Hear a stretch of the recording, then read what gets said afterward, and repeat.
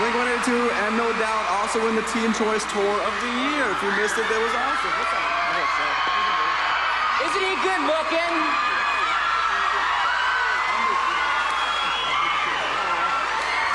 Hey, uh, I want to introduce Mark. He wants to say a few things to all the children.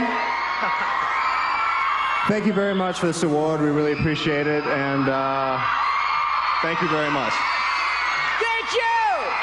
Yo, thank you, all our friends and family.